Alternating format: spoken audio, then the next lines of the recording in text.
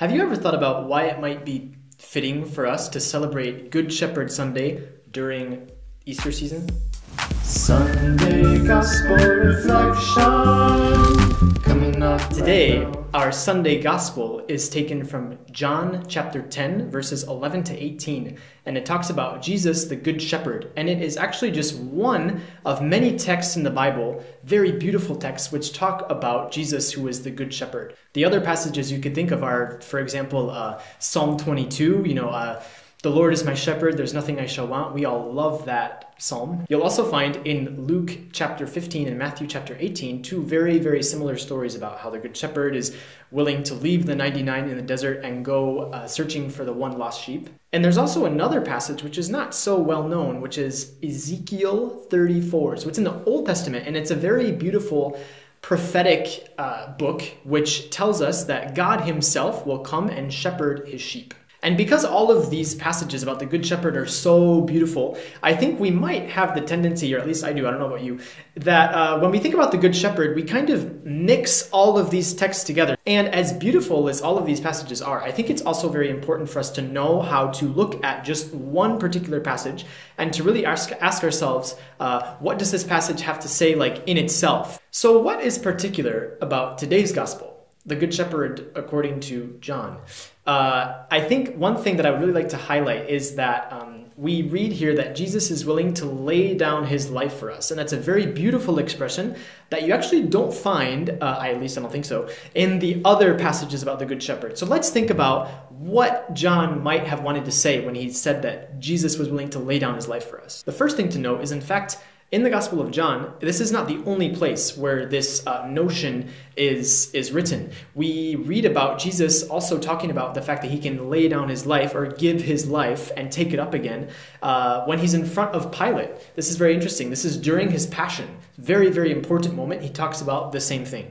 And one way to better understand this notion or this phrase of laying down his life is to compare these passages with a very beautiful verse in uh, which is actually Isaiah 53 verse 12. So it's one of the oracles of the suffering servant. And we read that the suffering servant who himself is a sort of, of priest, a sort of victim, is uh, willing to lay down his life or does lay down his life for us. So I think it's really important for us to ask ourselves the question because this suffering servant is a kind of priest. Uh, that's another long thing we, that we could talk about, but we could say pretty safely that he's a kind of priest. Could we say that Jesus in this passage of the Good Shepherd is also a, a priest. And actually, what's very interesting is if you compare John 10, so our gospel for today, with John 17, which is the, the very big priestly prayer of Jesus right before he goes into his passion during the Last Supper, there are so many similar themes between these two gospel passages, which are very important to highlight. You'll see in both of these passages, first of all, that, there, that Jesus has a great desire for unity.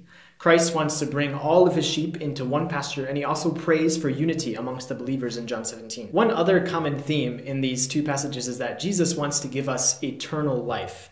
Just before our gospel passage for today, Jesus said, I came that they might have life and this gift of eternal life is something you find almost everywhere in John 17. Very, very important. You'll also find that both passages talk about knowing Jesus as as he knows the Father and this like all these knowing and eternal life, etc. And then last of all, something very interesting is that both passages kind of present Jesus as someone who protects us uh, Jesus is the good shepherd, and he compares himself with these other shepherds who don't know how to protect the flock. And then also in John 17, he says, uh, May you um, keep them from the evil one, etc. So Jesus is really the protector. So if we think of Jesus, who's a priest who lays down his life for us, I think we might immediately say and confirm that Jesus really does this when he lays down his life for us when he dies on the cross, which is actually part of what we call his paschal mystery. And this is very linked to the resurrection, which we celebrate during Easter time. So it's really in the paschal mystery, in his resurrection,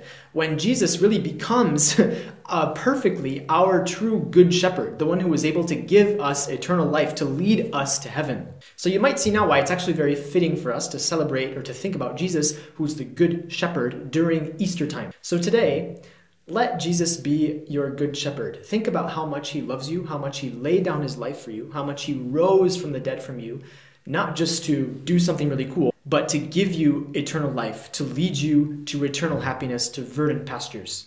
Have a great Sunday, everybody, and don't forget to uh, subscribe and share this video. Thank you so much. God bless. Bye bye.